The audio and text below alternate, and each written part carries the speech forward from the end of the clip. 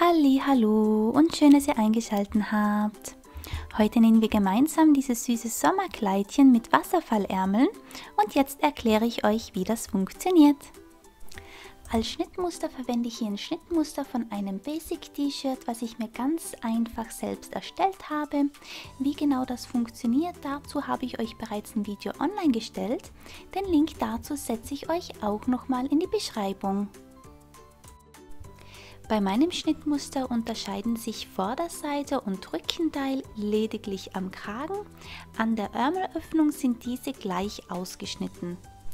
Darum werde ich jetzt lediglich eine Schnittmusterhälfte hernehmen und umfunktionieren und sowohl für Vorderseite und Rückenteil verwenden, einfach um Papier zu sparen.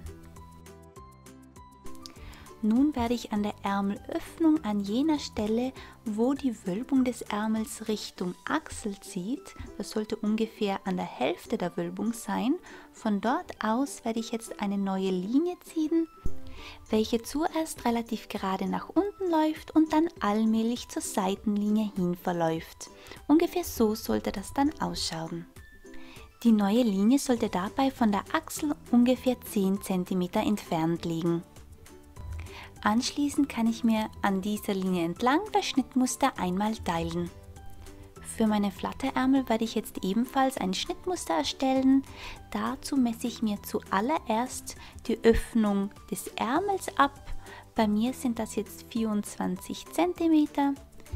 Dazu addiere ich nun weitere 10 cm und das wäre somit die neue Länge für meinen Flatterärmel und schlage mir das auf einem separaten Stück Papier ab. Als Breite habe ich mich für eine Breite von 8 cm entschieden. Das kann ich mir auch nochmal an meinem Backpapier einzeichnen und ich verbinde mir die Linien zu einem Rechteck. Das Rechteck sollte somit bei mir eine Länge von 34 cm und eine Breite von 8 cm haben.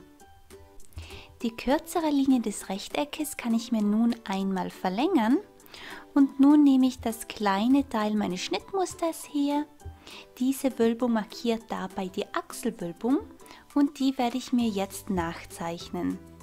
Das Schnittmuster wird dabei so hochgelegt, dass der Achselpunkt schön unten auf die waagrechte Linie trifft und das andere Ende der Wölbung sollte ungefähr einen Zentimeter von der Linie entfernt liegen. So kann ich mir diese Wölbung dann einmal nachzeichnen. Anschließend kann ich dann das Ende der Wölbung mit dem oberen Ende des Rechteckes verbinden. Die gegenüberliegende Ecke kann ich dann noch etwas abrunden, also so sollte das dann ungefähr ausschauen. Und nun kann ich mir diese Form einmal ausschneiden.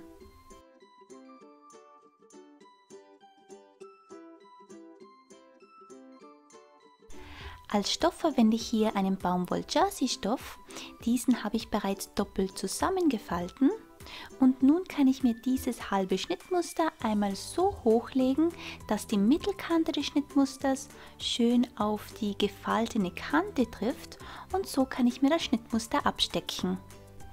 Den Kragen, Schulternaht und Ärmelöffnung kann ich nun mit einer Nahtzugabe von knapp einem Zentimeter einmal nachschneiden Ab diesem Punkt werde ich dann nicht mehr dem Schnittmuster folgen, denn bei mir wird das ja ein Kleid und dementsprechend muss ich die Länge anpassen. Dazu habe ich einmal die Wunschlänge an meiner Tochter abgemessen. Ich habe das vom Kragen bis zur gewünschten Länge bemessen, ungefähr zum Knie und das sind bei mir jetzt 55 cm. Und schlage dann dieses Maß an mehreren Stellen nach außen hin ab. So wird das Kleid unten schön abgerundet. Diese Punkte kann ich dann einmal schön miteinander verbinden und nachschneiden. Der äußerste Punkt des Kleides sollte dabei vom Schnittmuster ungefähr 10 cm entfernt liegen. Diesen Punkt kann ich dann in einer geraden Linie mit der Achsel verbinden.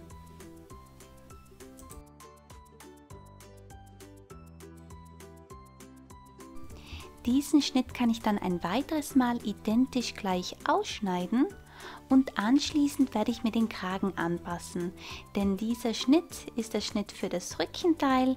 Hier der einzige Unterschied bildet eben die Tiefe des Kragens und das werde ich mir noch etwas größer am Vorderteil abrunden. Auch der Streifen für den Ärmel wird zweifach ausgeschnitten. Auch hier wird der Stoff wieder doppelt ineinander gefalten und die kürzere waagrechte Linie wird auf die gefaltene Stelle hochgelegt und mit einer Nahtzugabe von einem Zentimeter ausgeschnitten.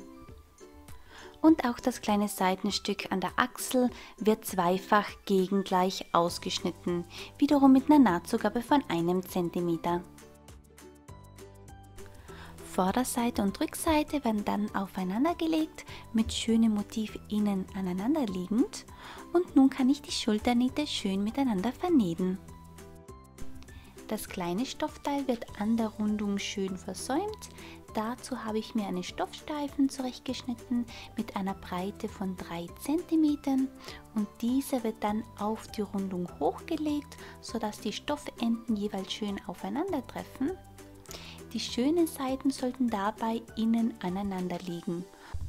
Und so kann ich mir die beiden Teile an der Overlock miteinander vernähen. Falls ihr keine Overlock-Maschine habt, dann könnt ihr auch gerne einen elastischen Stich an eurer Nähmaschine wählen.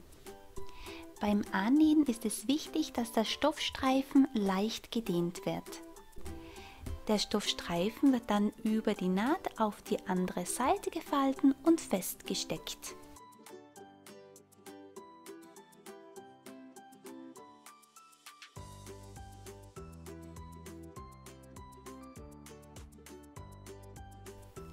Anschließend nähe ich mit einem Geradstich möglichst genau der bereits bestehenden Naht entlang.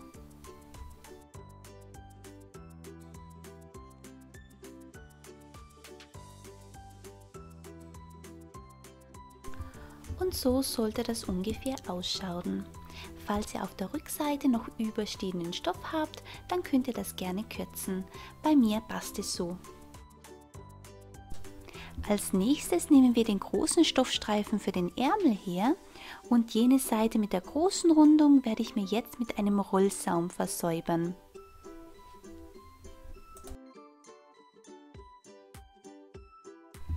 Dazu stelle ich jetzt an meiner Nähmaschine die Zickzacknaht und die kürzeste Stichlänge ein und nun kann ich den Rand einmal entlang nähen. Dabei ist es wichtig, dass die Nadel einmal in den Stoff greift und einmal ins Leere. Zudem muss der Stoff stark gespannt werden, sodass später diese schöne Wölbung entsteht. So sieht unser Rollsaum nun aus. An der gegenüberliegenden Seite werde ich jetzt einen Geradstich mit der längsten Stichlänge setzen. Das wird uns gleich dabei helfen, das Stoffteil zu raffen. Das Hauptteil wird nun auseinandergefalten, sodass die schöne Seite nach außen schaut und der Stoffstreifen wird auf dieselbe Länge wie die Ärmelöffnung zusammengerafft. Dazu kann ich an einem der Fadenenden ziehen und so das Stoffteil so lange zusammenraffen, bis es dieselbe Länge hält wie die Ärmelöffnung.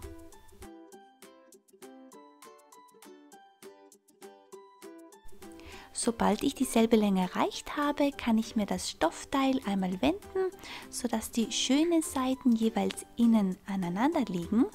Und nun kann ich mir den Streifen mit dem Hauptteil abstecken.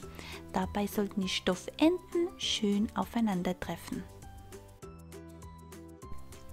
Nun kann ich mir das kleine Stoffteil dazu holen und werde das mit der Raffung und dem Hauptteil abstecken hier ist es wichtig, dass die lange Rundung des Stoffteiles mit dem Hauptteil abgesteckt wird und dass es so hochgelegt wird, dass das Motiv nach unten schaut. Ich beginne jetzt mit dem Abstecken ganz unten an der Ärmelöffnung und werde es so entlang einmal nach oben hin abstecken.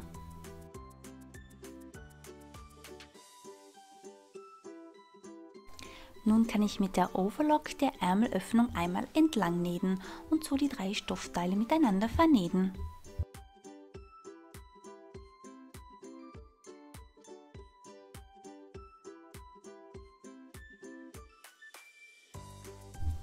Falls ihr an manchen Stellen die Hilfsnaht noch seht, welche ihr gesetzt habt, um das Stoffteil vorhin zu raffen, dann könnt ihr euch das jetzt auftrennen und herausziehen.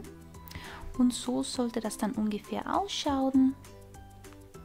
Nun kann ich mir diese Ärmelöffnung auch nochmal mit einem Geradstich absteppen.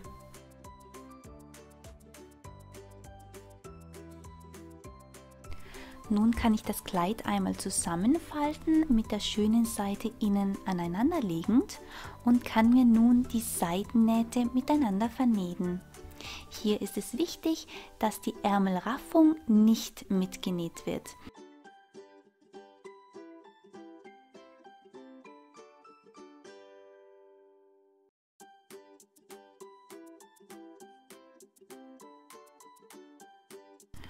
Und so sollte das jetzt ungefähr ausschauen. Nun machen wir mit unserem Kragen weiter.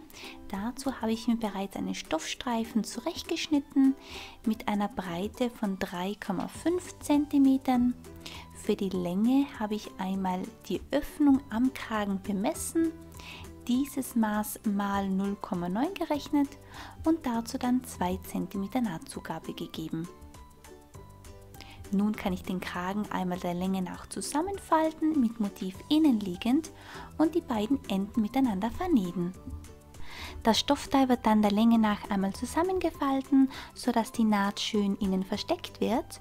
Und nun setze ich mir zwei Markierungen. Eine Markierung bildet dabei die Naht selbst und die zweite Markierung sollte der Naht genau mittig gegenüber liegen. Das markiere ich mir wiederum mit einer Stecknadel.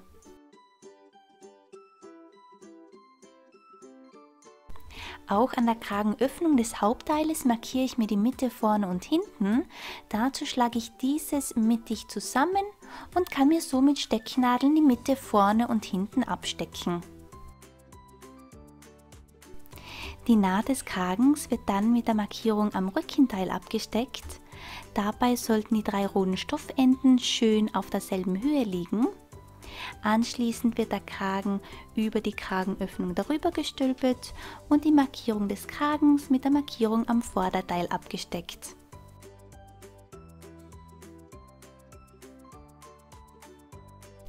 Beim Nähen wird dann der Kragen so weit gespannt, dass er dieselbe Länge erhält wie das Hauptteil und so kann ich einmal rundherum nähen.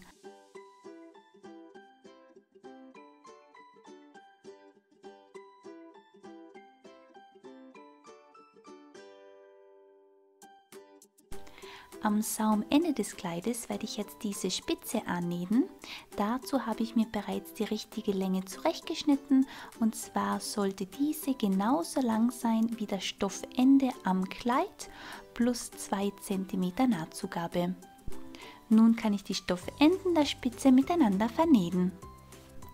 Die Spitze wird dann einmal über das Kleid gefalten, sodass unten die Stoffenden schön aufeinandertreffen und an der Seite sollte die Spitzennaht und die Naht des Kleides auch schön aufeinandertreffen. So kann ich die Spitze entlang mit dem Kleid abstecken.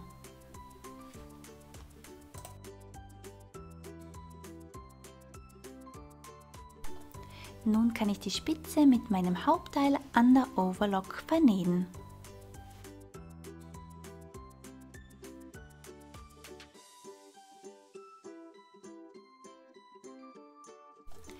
Dann wird die Spitze nach unten geklappt und mit einem Geradstich entlang abgesteppt.